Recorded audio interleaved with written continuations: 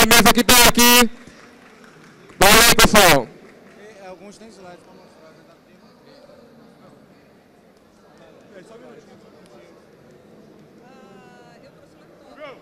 Tem como plugar aí, Pierre? Tem como plugar fácil aí o adaptador?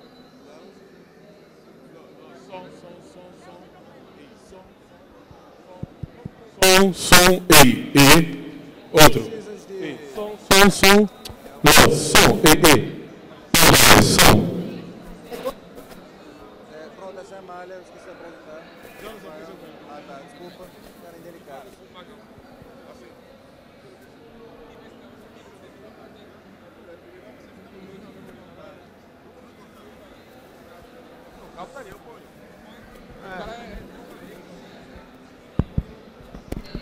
Boa noite, pessoal. Alô? Olá. Estão vindo atrás?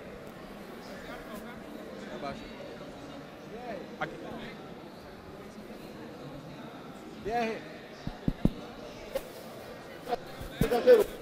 Passa para Pierre. Isso daqui tá ruim. Oi. Pegando aqui.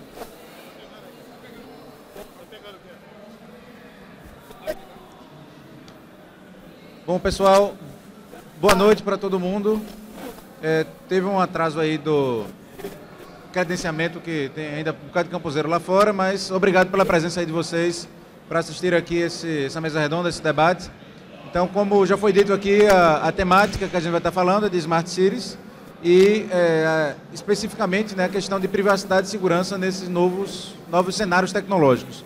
Então a ideia de Smart Cities é bom, mais um, um rótulo de, de mercado de vários produtos que estão sendo vendidos e a gente tem uma visão variada aí do que pode ser essa, essa nova tendência tecnológica de cidades inteligentes. Então, muito tem a ver com o sensoriamento de cidades, né, para fornecer mecanismos de coleta de dados em tempo real, dados de tráfego, dados de é, índice de, de poluição do ar, é, questões ligadas à contagem de fluxo de, de veículos em vias, é, desde é, se está tendo deslizamento em barragens, se está coletando dados de chuva para saber se tem rua alagada ou não, é, dados ligados à saúde. Então, tem muitas, é, muitos sistemas tecnológicos que estão equipando a cidade com essa nova perspectiva aí, para ajudar gestores a tomarem decisão. Isso é uma visão de monitoramento e controle. Né? Por outro lado, também a questão de pessoas participando com é, sistemas de informação para fornecer dados para é, alimentar outros é, grandes sistemas, é compartilhar informação em tempo real. Não. Um exemplo clássico que a gente cita, é, a ideia de Waze, por exemplo, não deixa de ser um, um tipo de sistema feito por pessoas, independente de instituição governamental, é, mas tudo isso a gente está falando de dados que estão sendo compartilhados entre sistemas, dados de pessoas, dados de cidades, é, dados de é, diversos é, tipos, né, dados crus, tem dados de mais alto nível. É, então existe uma preocupação, é, essa temática aqui, na verdade, tem dois grandes debates que a gente vai estar englobando em um só. Né? Privacidade é uma coisa que toca muito ao indivíduo, né? os dados, como estão sendo guardados, estão sendo é, como estão sendo expostos, e também a questão de segurança, como a gente vai fazer para proteger esses dados e proteger esses sistemas que estão equipando essas cidades. Então, a, a, gente vai discutir um pouco disso daqui. Então, a questão de privacidade, né, tem uma pessoa que é a Amália, ela é, trabalha muito com isso daí, né, dentro do, dessa perspectiva de informática, é, voltada para sistemas que envolvem é, dados pessoais, então ela tem, tem uma expertise nisso daí. O Rafael Mandarino é um especialista em segurança, é, já trabalhou no gabinete de é, segurança da informação da, da presidência. Então, agradecer aqui a presença do Mandarino, que é, é um convidado de outro evento que a gente estava organizando aqui pra, lá, da UFPE, junto com outras universidades, que é o, o, Congresso da Sociedade Brasileira de Computação, que aconteceu aqui no Centro de Convenções. Então, a gente aproveitou essa vinda do Mandarino para ele participar aqui com a gente na, na Campus Party desse debate. Então, obrigado, Mandarino.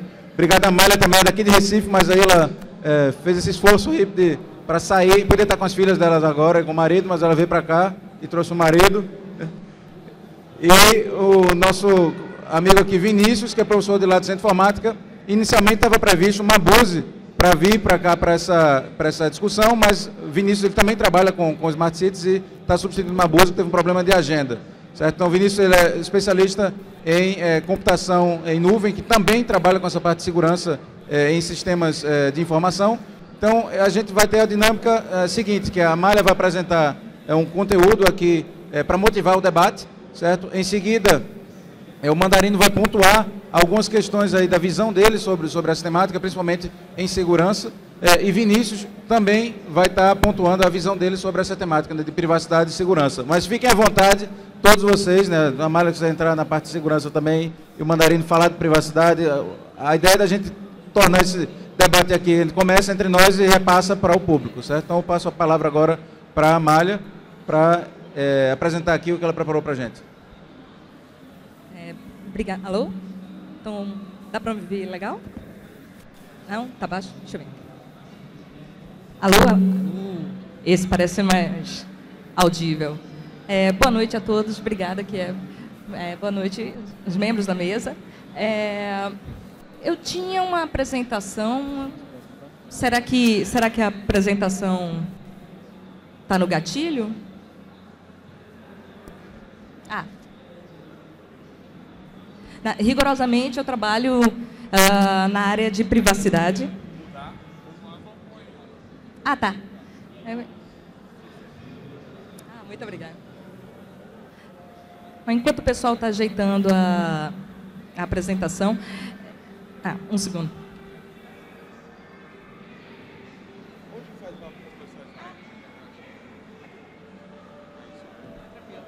É, você colocou aqui, é, eu estou com outro aqui. Ah. Está aqui. Olha. Acho que a gente já pode começar.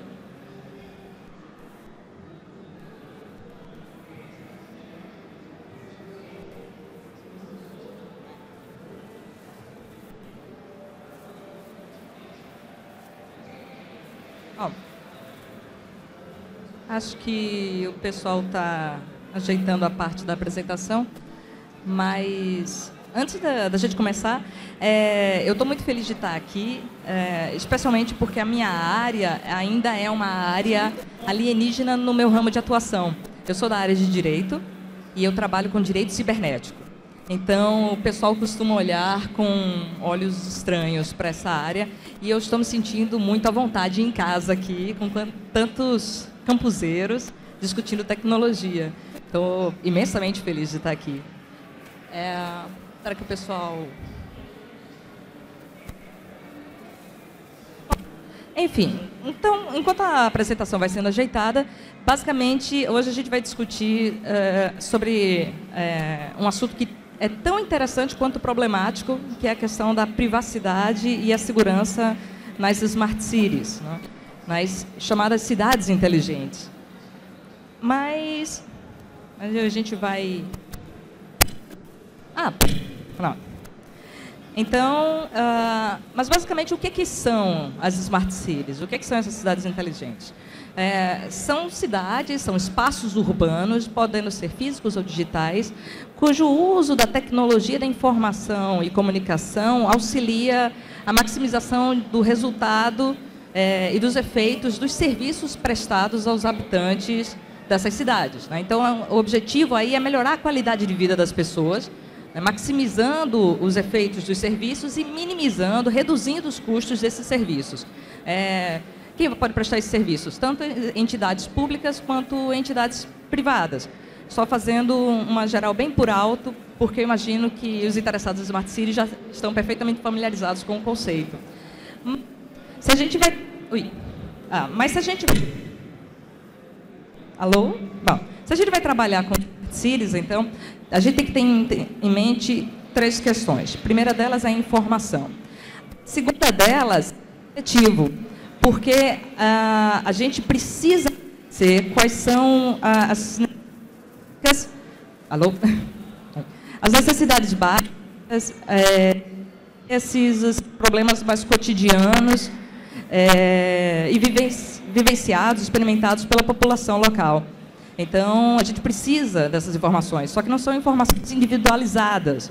Né? Não importa quais são os problemas vividos pela cidadã Amália, pelo cidadão Kiev, é, mas sim é, essa informação diluída num contexto social, a massa, o setor, a classe social, o grupo social que, é, no qual estamos inseridos. Então, o coletivo é o segundo elemento. E o terceiro elemento, obviamente, é a tecnologia, tecnologia de informação e comunicação.